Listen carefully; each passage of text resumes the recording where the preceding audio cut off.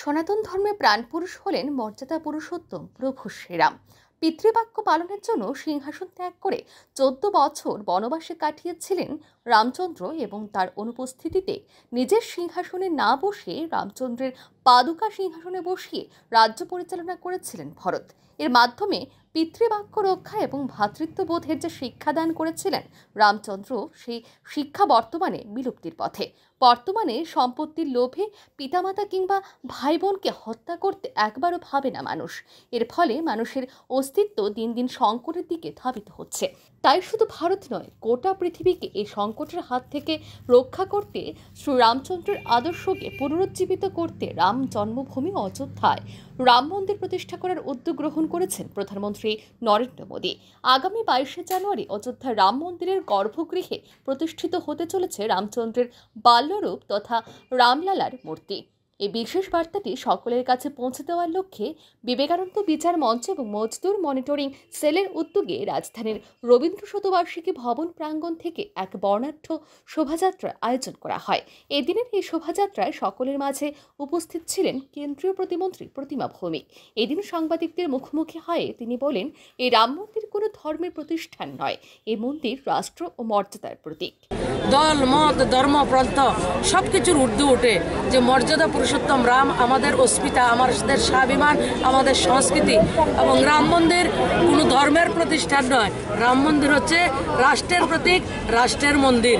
তো আজকে আমাদের যে শ্রমিক সংগঠনের ভাই বোনরা সবাই মিলে এক শোভাযাত্রা ওনারা সংগঠিত করেছেন, তাদেরকে আমি ধন্যবাদ জানাই এবং এটা স্বতঃস্ফূর্ত আনন্দ, কাউকে ডেকে আনা হচ্ছে না। এবং গোটা দেশে, শুধু আমাদের রাজ্যে নয়, গোটা দেশের মধ্যে একটা আবেগ, এটা জন উৎসব, জনতার উৎসব। ধর্ম ধর্মপ্রান্ত নির্বিশেষে সবাই চাইছেন রাম মন্দিরের উৎসবের, আমাকে যাতে আমন্ত্রণ আসে। সবাই চাইছেন ধর্মের ঊর্ধ্বে উঠে, দলের ঊর্ধ্বে উঠে, যে আমাকে যাতে আমন্ত্রণপত্র আসে এই ইতিহাসের সন্ধিক্ষণে সাক্ষী হওয়ার জন্য।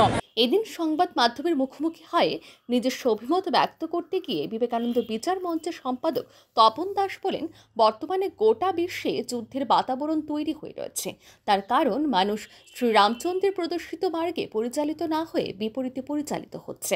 কিন্তু যেই মুহূর্তে সনাতনী বিশ্বাস এবং আদর্শ গোটা বিশ্বে ছড়িয়ে পড়বে, সেই মুহূর্তে নরবিধ্বংসী ঘটনা সংগঠিত হওয়া বন্ধ হয়ে যাবে। সম্পূর্ণ বিশ্ববাসী যেদিন সনাতনী আদর্শে বিশ্বাসী হয়ে যাবে, সেদিন এই বিশ্বের মধ্যে আজকে যেমন হচ্ছে রাশিয়ার ইউক্রেন একটা একটা রক্ত পিপাচু হয়ে গেছে। যদি আমাদের ভগবান শ্রীরামের সেই প্রদর্শিত মার্গে যদি চলতো, এই ঘটনা কোনোদিন হতো না। আপনারা গাজা, ইসরায়েলে দেখেছেন, একে অন্যের রক্ত পিয়াসু হয়ে গেছে। এটা শুধুমাত্র সনাতনী যে মার্গ ছিল, সেটার বিপরীত বিপরীত সিদ্ধান্তের কারণে এগুলো হচ্ছে। যেদিন সনাতনীর বিশ্বাস সারা বিশ্বের মধ্যে ছড়িয়ে পড়বে সেদিন এই সমস্ত মানে এই, কী বলে, নরবিধ্বংসী নরহত্যাকারী এই সমস্ত ঘটনাই হবে না আমাদের বিশ্বাস। শ্রী রামলালার এই যে মানে প্রাণ প্রতিষ্ঠার মাধ্যমে সারা বিশ্ব বিজয় এবং সারা বিশ্ব শান্তির জন্য আমাদের সনাতনী সমাজ একটা অগ্রণী ভূমিকা নেবে এবং সক্রিয় হতে চলেছে। সেটা সারা বিশ্ব শান্তি হবেই। সেটার শুরুবাত রামলালার প্রাণ প্রতিষ্ঠার মাধ্যমে হবে। জাতি, ধর্ম, মত নির্বিশেষে সকলকে এই দিনের এই র্যালিতে অংশগ্রহণ করার জন্য আহ্বান জানান সংগঠনের সম্পাদক। Bureau report, R A news.